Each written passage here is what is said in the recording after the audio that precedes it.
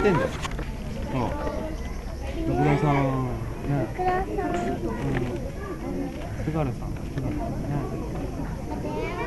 ね。おじいちゃん。は？津軽さんおじいちゃん。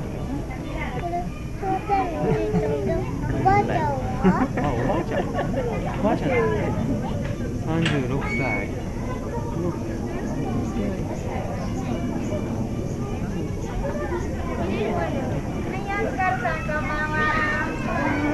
あ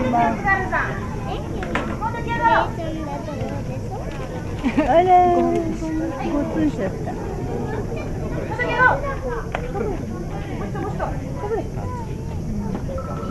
一生懸命頑張ってる。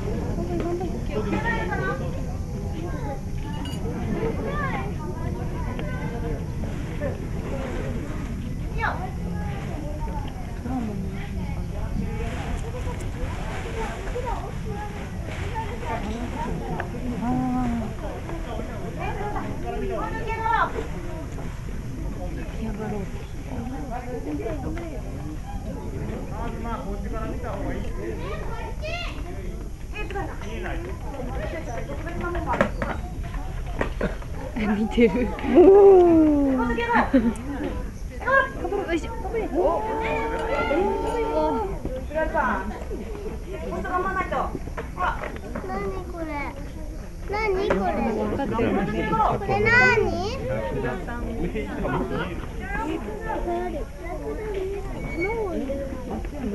何やってん。の？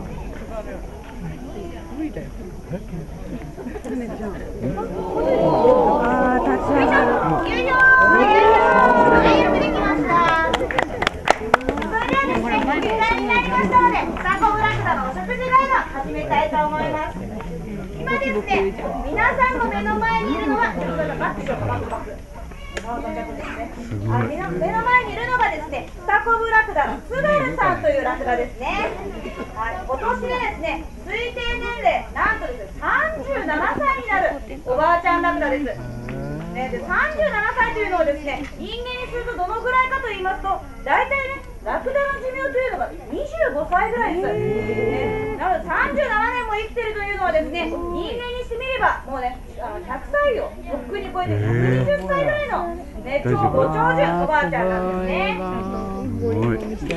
なので普段はですね。ね、さっきのように座ってたりとか、あとはですね、寝てたりすることが多いんですけども、ずっとそのままの姿勢ですと運動不足になってしまいますし、あとはですね、あのまあ、あの同じ姿勢をね長時間取るとですね床ずれという怪我の原因にもなってしまいますので毎回ですねこうやってご飯の時だけ少し立ち上がらせて歩かせております。なのでね津軽さんの立ち上がってる姿というのはですねあの1日3回しか見ることのできないとても貴重な姿なんですね。はい、えー今今見えてる皆さんとてもラッキーですよ常連のお客さんでもですね絶対に見れない